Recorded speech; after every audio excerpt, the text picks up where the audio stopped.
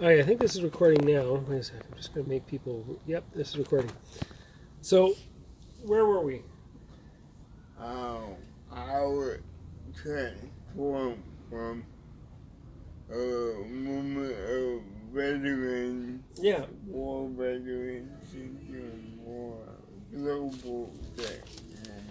For sure. Um, I would say up to 10 or 15 years ago that I wasn't much written about the history of the civil rights Okay. and the civil rights movement. Um, there were some pretty important research done and written about, but it didn't get a whole lot of attention. Okay. Um, that uh, research wasn't that accessible Right. It was written in a way that was. It was written to to uh, an academic audience or something like that. Um, I was a, uh, maybe in some to some degree, but I was more mean accessible in terms of finding it Okay. and knowing about it. Right. And even myself as a disabled person, I had to do a lot of work Just. to figure out what my own history was Right. as a disabled Canadian how we came to have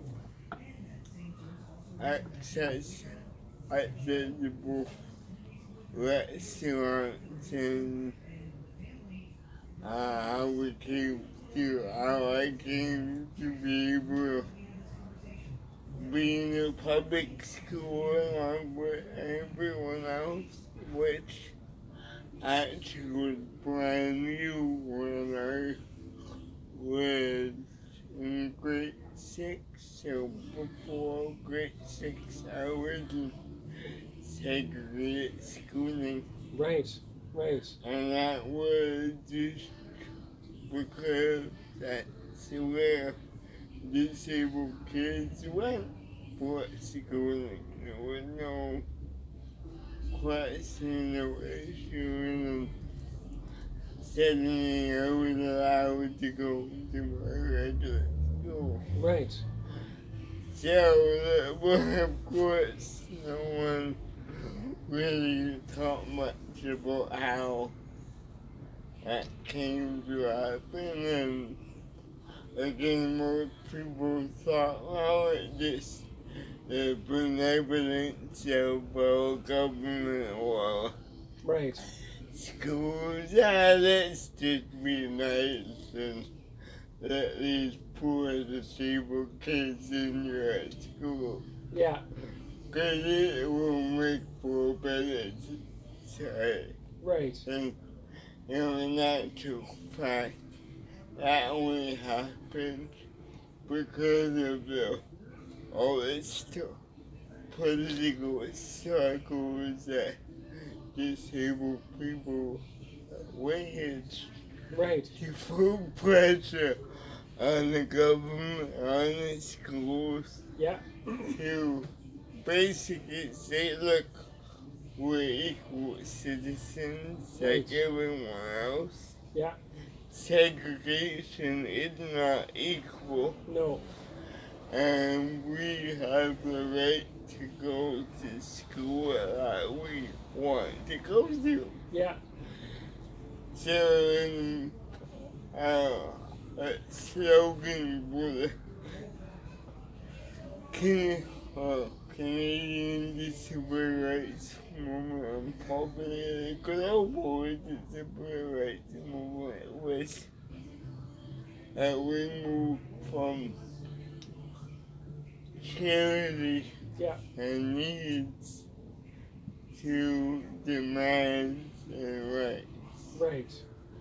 So uh, it was no longer seen as a charitable thing to allow a disabled pe- person into the restaurant. Right. Allow a disabled person into the club or Right. For To- sure. print a book in braille um, alongside a book in print. Right. It was no longer as, oh, isn't that nice? Right. It was as, yes, this is what you only should do, this is what you need to do, this is the law. Yeah. It would be. I mean, like to go off and, and to move from something that that started as as a, a reaction to the um, to, to veterans into something that it becomes international law. That's that's that's a you know that not all countries have signed up for it, but it's it's it's fascinating how uh, yeah. how many people have signed the, the International Convention for the Rights for Disabled People. Yeah. That's what it's called. Uh, um, yeah, yeah, Convention for the Rights of People with Disabilities. Yeah, I mean, it's, there's quite an impressive trans, Yeah. you know, transition um, in our society Yeah. into what is, because it would have been at the time that the UN was being formed, right around the Second World War, this would have been inconceivable. Um, Yeah. I think, Yeah, but no, you're right. yeah, Uh, we were, I, we were in, still in what's called charitable model, which frames the approach to disability as an emergency. No. and the approach to disability as uh, A, a medical problem, right, and be a problem of individual. right, So it's because Alan is in a wheelchair and can't manage stairs that Right. we have to figure out how to do things so that Alan can have a okay time like the rest of us. right. Once again, Alan is a trouble. Yeah. Al is a trouble. So. And you know, when I was growing up, you know, I, I was in segregated school until grade six. yeah, So, but the only disabled people I knew were in that segregated school. right, know, when I went home at 3 p.m. to my house, to my neighborhood, I was the only disabled person around. right, So, again, for me, I kind of fell into that mindset. It's a problem of me and I have to figure everything out for myself or, you know, things have to be done especially for me. right, And as a kid or even as an adult, you don't want to feel that way. You don't want to feel that, you know, everyone needs to do something special for you. Yeah. So for the longest time, I tried to uh, distance myself from anything to do with disability. right, right. Do, do you think it's any different now for people, for kids growing up in terms of the, the, the knowledge? Like the internet has done so much to try and allow people to come together and to bring people who have any kind of, of um, difference that is outside of the, the norm to be able to find each other and to communicate and to learn from each other and share. Has, has, has the internet been useful for, or do you think it will be useful for people growing up to, to have a, a greater sort of sense of, you know, it's not just me, it's not my problem, this is, this is, um, that there's a whole bunch of people like me and, you know, you think that that will help? I, yeah, I, I think it helping her. I know that young disabled people now have a greater sense of, of um, that it's their right to be included. Right. And that they're not the only ones who need a or they're not the only ones who need support eating and going about them. Right. So it's not only the issue whereas when I was growing up, I really did feel like it was only my issue. Right. So I think that does help in terms of staking your claim that you deserve to be here like everyone else. Yeah. Not out of benevolent self.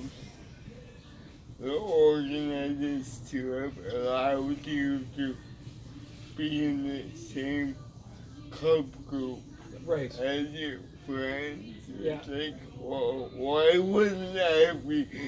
for sure. See, where, when I grew up, you know, it feel like a real honor, a real privilege. And it felt like I had beaten being disabled. I'm, I'm normal. Right. You know. Where now I hope people feel, yeah, I'm disabled, but I'm still deserve to be in the same cardboard Right. scout group as, As everyone else. My friends are, Yeah. Yeah. Um, I wonder if you could talk a bit about. Um, I, was, I mean, there's the whole sort of. of I was thinking about um, disabled versus differently abled, or like those kinds of language stuff. But but or but I think more more fascinating is one of of, um, of piss on pity, and and that line, which I think did you have a T-shirt with that- at one point? I remember that. And I just couldn't from uh, British disabled movement, Right.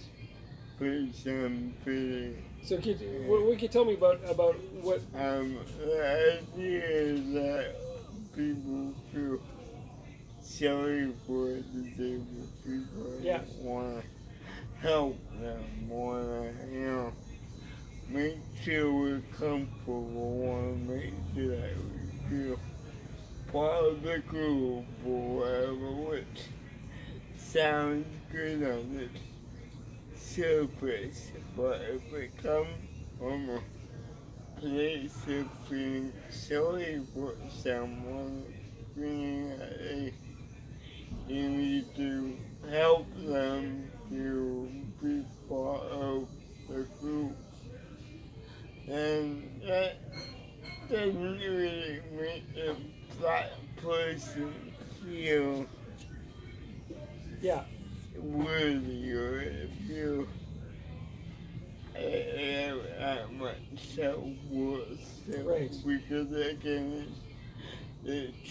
It only includes someone because you feel sorry for them. Right. So where that seven percent pity comes from. Because disabled people say, "Oh, we don't want your charity, we Yeah. don't want you to feel sorry for us. If you're only doing us because you feel sorry for us, and don't bother. Yeah. We don't want to be included in that way, and we'd rather just go off and do our own thing. Yeah. Yeah. For sure. And that's where freedom pretty come from. um, I have a few uh, blind friends who, who told me stories that, of, of, of sighted people coming up to them and helping them across the street, even if they, without asking if they want to cross the street or where they're going or if they need assistance or anything like that. It's just, you know, it's, I think that's all part of that as well. That whole sort of sense of I can do something. I can be a good person by helping this this this blind person or this disabled person. I can I can be a good Samaritan and and do this good act and then go home to my family and say, oh, I helped somebody today. I was such a good person. And it's like, mm. but without having that sort of sense of, you know. Were you really helping somebody, or were you doing this just to go off and support your own ego? Is this, this something that, mm. that you're, yeah, And how much was that person involved in the way you were helping them? Right. If they wanted to go where you took them. yeah, And I've had many instances where people don't really communicate with me other than saying, oh, let me help you do that. right, right, yeah, And I, I was I had people come up to me and say, Can I pray for you? And I look at them and go, Why? yeah, Which takes people. Because people assume that all I want is to be able to walk. right, yeah, yeah. That's an interesting, like that, that definitely is the assumption that that most people have that this is the. Uh, the, the most pressing issue in your life and the thing you would want to have changed most and, Right. and yeah yeah no Uh, um, I think, uh, I think that dynamic is a bit different for people with invisible disabilities. right And, um, yeah, I think in some ways it's uh, easier for me because I don't really have to self-identify. For sure. Uh, people can see them table, but yeah, someone's dyslexic, right. Um, to the point of not being able, able to access information through the pr- yeah. Plant. People's automatic reaction was what's wrong with you? Like, yeah didn't you go to school? Yeah. Didn't you learn to read that's right you must be pretty daft not to be able to read Yeah, yeah, yeah, yeah. And then it's reacted not charity yeah at all because people don't see you as disabled. right They see you as quote dumb. Yeah. And one way get yeah. Which comes to another issue in history of disability between deserving and undeserving. so how do you expl- explain that to me? Um, that comes from the Elizabethan laws way back okay back when we were both a, little, a lot younger 1400s, back when I was a kid. um, and there, um, people, disabled people, only means to support was through begging. right Um, but I guess there were so many people begging. That England put out a law to determine who was actually allowed to beg. Right.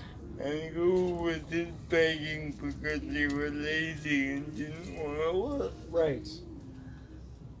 So that created the framing of who was deserving to be disabled, Right. deserving of a charity, right and who was just, you know, trying to take the easy road. Right. people who had moral problems, and if you were morally, um, you, you, you couldn't work because you you were not made of good moral fiber, Uh, um, versus those people who had a legitimate reason to go off Yeah, into uh, right. to, yeah.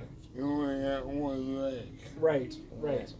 Yeah, well, you could still hop around. What's wrong with that? You, you can still carry bricks up to the top of that building. What the heck? And then when you couple that with the fact that ninety percent of this stupidity are invi- in- invisible, that means that for most disabled people, they don't get charity, they get, you know, anger and frustration. Yeah. And why, why can't you them?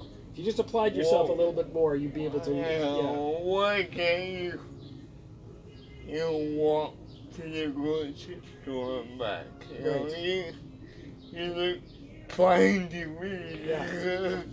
Yeah, yeah, yeah, for sure. Yeah. Um, so I think that we should probably stop this this discussion and and uh, go off and work on dinner. Um, but I wanted to see if you had any last things to say before we, we, we, we go off and stop for dinner.